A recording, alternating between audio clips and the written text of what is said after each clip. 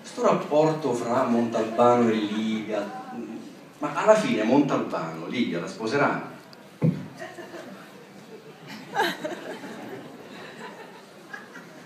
È una risposta un po' complessa, perché ho ricevuto un giorno una busta, Andrea Camilleri abitava allora in un indirizzo che non dirò, e apro sta busta e dentro c'era una cartolina postale che rappresentava eh, Bocca d'Asse, vista dal mare, bellissima. Dentro la, nella cartolina, la cartolina era indirizzata a Salvo Mondalbano, commissariato di Vigata, Vigata. Ed era una cartolina di Livia,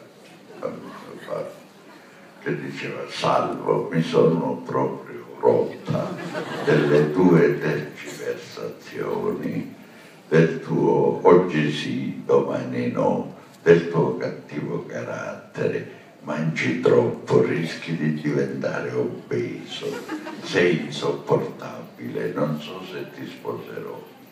Allora forse è bene una volta tanto capovolgere la domanda, ma Livia sposerà mai Montalbano? Forse la più giusta.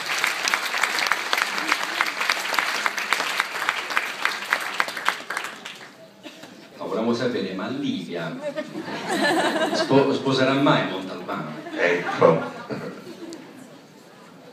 Dopo il romanzo Una lama di luce è chiaro che io ho costretto tutte e due in una situazione dalla quale sarà difficile uscire, cioè, ma, ma poco fa lei avrebbe dovuto far tesoro delle mie parole poco fa ebbi a dire che non sempre i personaggi letterari muoiono di morte eh, come muoiono le creature umane, sono personaggi letterari.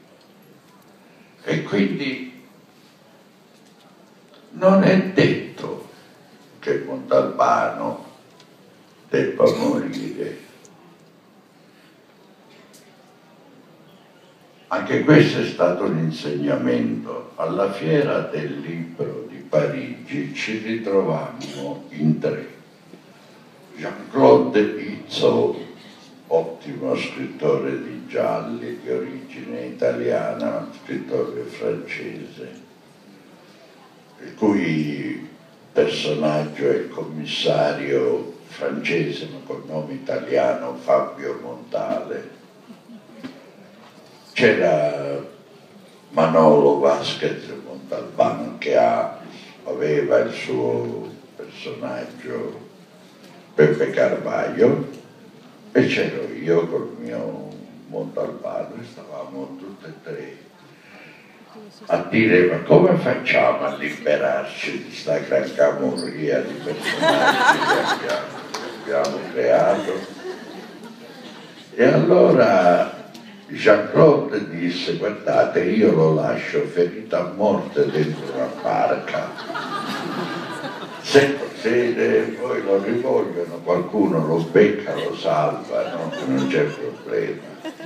Ma Nolo escogitò una morte laboriosissima per indigestione di Pepe Carvaglio e poi tutte e due si voltarono verso di me per dire, come per dire tu?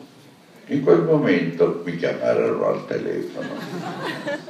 Quando tornai il discorso era sviato.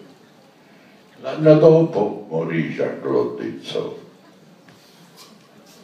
due anni dopo morì Manolo Mondadori col cavolo che io faccio così